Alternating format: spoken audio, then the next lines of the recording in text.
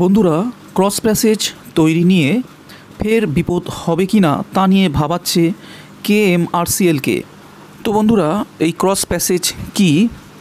আর এই cross passage তৈরি করার প্রয়োজন হলো কেন? সমস্ত কিছু জানাব আজকের এই ভিডিওটিতে। তাই সম্পূর্ণ ভিডিওটি দেখবেন। ভিডিওটি ভালো লাগলে অবশ্যই একটি লাইক দেবেন আর চ্যানেলটি সাবস্ক্রাইব না করা থাকলে সাবস্ক্রাইব করে নেবেন। এই ধরনের যাবতীয় আপডেট সবার আগে আপনার কাছে পৌঁছে দেওয়ার জন্য। ক্রস প্যাসেজ তৈরি নিয়েই এখন যত ভাবনা কে এম আর সিএলের শিয়ালদা থেকে এসপ্লেনেডের মধ্যে সুরঙ্গে মোট আটটি ক্রস প্যাসেজ তৈরি করার সিদ্ধান্ত হয়। যার মধ্যে এসপ্লেনেডের দিকে চারটি ক্রস প্যাসেজ তৈরি করা হয়ে গিয়েছে। বাকি রয়েছে আরও চারটি ক্রস প্যাসেজ তৈরি করার কাজ। কেএমআরসিএল কর্তৃপক্ষ জানিয়েছে, শিয়ালদাহের দিকে থাকা এক এবং তিন নম্বর ক্রস প্যাসেজ তৈরি করতে গেলে চরম আশঙ্কা থাকছে জল ভূগর্ভ থেকে বেরিয়ে যাওয়ার ব্যাপারে। কারণ এই দুটি প্যাসেজ তৈরি করার জায়গার মাটির অবস্থা একদমই ভালো নেই। গ্রাউন্ডিংয়ের জন্য খোঁড়াখুড়ি শুরু হলে অত্যন্ত ফোর্সের সঙ্গে জল বেরিয়ে আসবে বলে মনে করা হচ্ছে।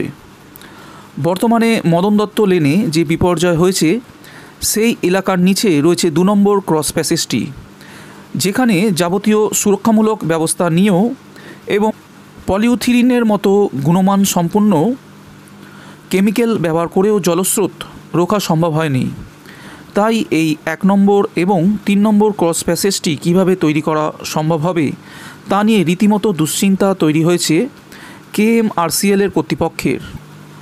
আসলে এই ক্রস প্যাসেজ কি?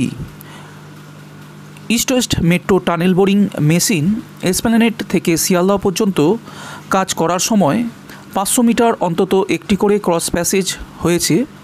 এই ক্রস প্যাসেজের কাজ হচ্ছে দুটি টানেলের মাঝখানে থাকা। শিয়ালদাহের দিক থেকে একটি টানেল রয়েছে এবং এসপ্ল্যানেডের দিক থেকে অপর টানেলটি রয়েছে। মেট্রো চলাচলের সময় যদি কোনো সময় বিপত্তি হয়, তাহলে এই ক্রস প্যাসেজ দিয়ে যাত্রীদের এক লাইনের দিক থেকে অন্য লাইনে নিয়ে আসা হয়। তাই ক্রস প্যাসেজ রাখা অত্যন্ত গুরুত্বপূর্ণ। কে এম আরসিএলের কর্মীরা এই ক্রস প্যাসেজে গ্রাউন্ডিংয়ের কাজ করছিলেন। সেই সময় খোঁড়াখুড়িতে জল বেরিয়ে পড়ে। এবার জানব এই ক্রস প্যাসেজ তৈরি করার প্রয়োজন হলো কেন?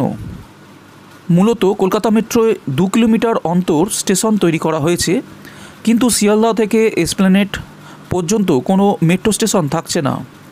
রাজা সুবোধ মল্লিক স্কোয়ারে এভাকুয়েশন গেট তৈরি করা হয়েছে। অন্যদিকে এসপ্ল্যানেট থেকে হাওড়া পর্যন্ত কোনো স্টেশন নেই। স্ট্যান্ড রোডে সেই কারণে ইভাকুয়েশন গেট করা হয়েছে। এই দুটি অংশে ভূগর্ভে যদি কোনো সময় মেট্রোর বড়সড় বিপত্তি হয়, তাহলে যাত্রীদের ভূগর্ভে নামিয়ে এই ক্রস প্যাসেজগুলি দিয়ে একটি টানেল থেকে অন্য টানেলে নিয়ে ওই গেটগুলি দিয়ে বের করা হবে।